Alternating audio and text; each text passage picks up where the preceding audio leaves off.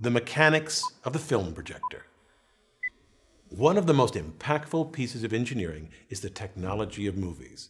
They've shaped every aspect of our lives. Today, of course, they're created digitally, but I celebrate here the stunning engineering that gave life to movies, the technology that tricked the mind into seeing a moving image. Film came in many sizes, from the giant 70mm, popular in the 1960s for epics like Lawrence of Arabia, to 35mm used for most feature films, to 16mm for schools, and even 8mm used by home enthusiasts. The larger the film, the greater the resolution, of course. All worked with mechanisms similar to common 16mm projectors. I'll examine this Bell & Howell 1580 16mm projector built in 1979. We'll look at the shuttle that starts and stops the film, the shutter that strategically blocks light, and the photosensor that reads the sound, all of which operate in harmony. To create the illusion of movement, a series of still images, the film, is pulled off the supply reel, threaded in between the lamp and lens so the image can be projected, then run across the sound drum, and finally coiled onto the take-up reel. However, it isn't as simple as that sounds. To see why, here's what happens if you just move the film continuously past the projector's lamp. What you see is a blur. You can just make out the images. Here's what really happens shown in slow motion. A frame appears on the screen, not moving, then the screen goes blank, and then the next frame is projected on the screen. The projector must hold the image on the screen for a moment and then cover up the image while the film moves to the next frame. Two mechanisms do this. First, the shuttle. The shuttle has three teeth which engage the sprocket holes in the film. The shuttle moves back to disengage from the film, then moves up, then forward to engage the film, then moves down, pulling the film with it. The film is stationary most of the time and only moves when the shuttle is moving down. This is the intermittent motion of the film necessary to avoid blurring of the projected image. Here is slow motion footage of the shuttle moving up and down intermittently. From this angle, you clearly see the shuttle move forward and back to engage and disengage from the film. Two shuttle arms hold the teeth of the shuttle in place. In between the arms is an eccentric cam. This cam rotates with an axle and moves the shuttle arms up and down. The outline of the cam has a constant width so that the distance between the arms doesn't change. The cam shape holds the shuttle steady at the top and bottom of its travel. To see how the shuttle moves forward and backward, let's look down from above. The shuttle arms act like a third-class lever. They pivot on one end, and at the other end, a spring force pushes them forward and an effort forces them backwards. This backwards effort is created by a disc tilted a few degrees off of the axle. When the axle turns, the disc wobbles. A horizontal post connected to the shuttle arms is pressed into contact with the wobbling disc by the spring force. As the axle turns and the disc wobbles, the shuttle arms are rhythmically pressed backwards.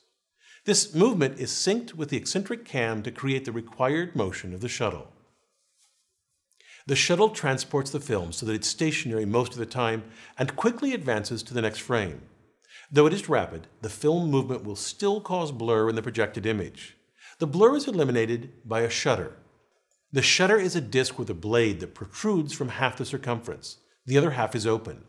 The shutter rotates once every frame and is synced so that the shutter blade blocks light from the lamp while the shuttle is advancing the film.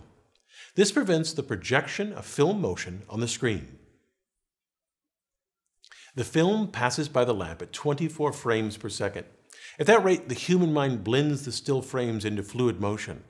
A projector with a single bladed shutter blocks light from the lamp once every frame. So half the time, every 24th of a second, the screen is dark. This switching between a bright projected image and darkness is called flicker.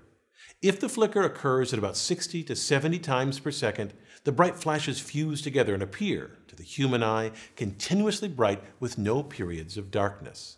This rate is called the flicker fusion threshold. Since 24 flickers per second is below the threshold, the flicker is visible. This flicker is the origin of the term flick as slang for movies. But modern film projectors don't have this problem. How did they fix it? Originally, shutters had a single blade that covered the advancement of the film with an open section that showed the picture.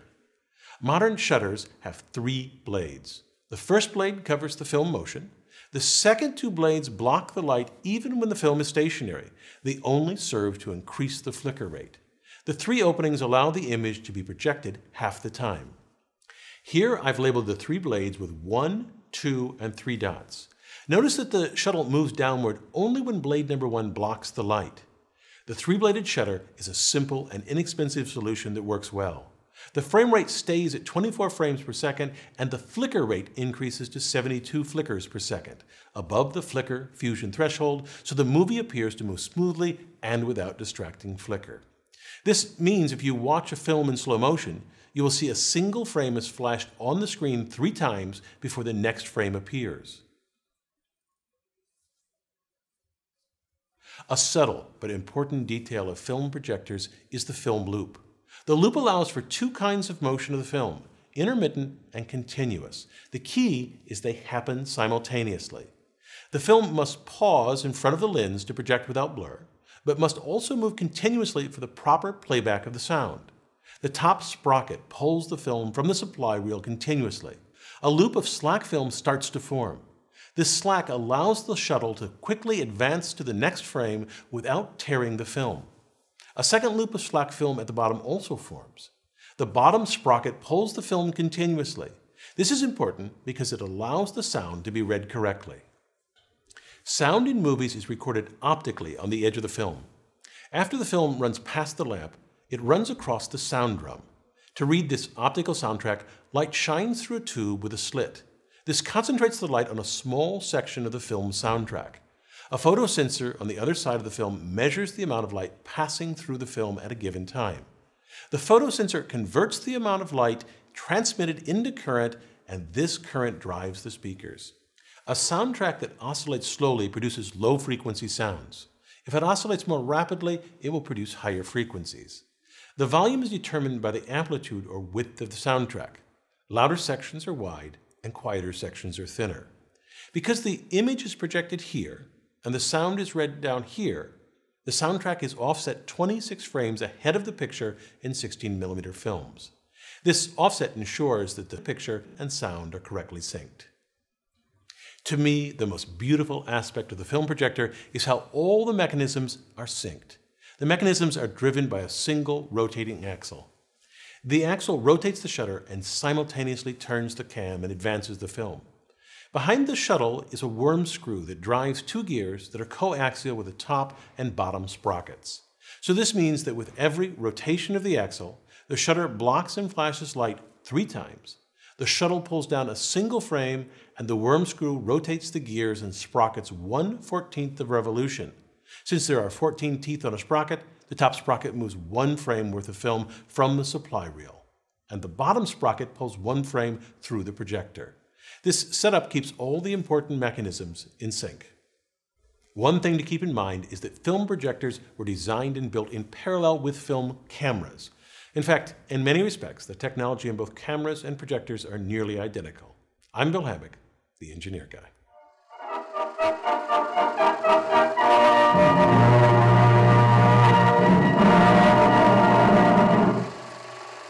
Thank you to our advanced viewers who helped shape this video. Will you help us make our next video? Will you become an advanced viewer? Go to engineerguy.com slash preview to sign up. We'd love for you to join us.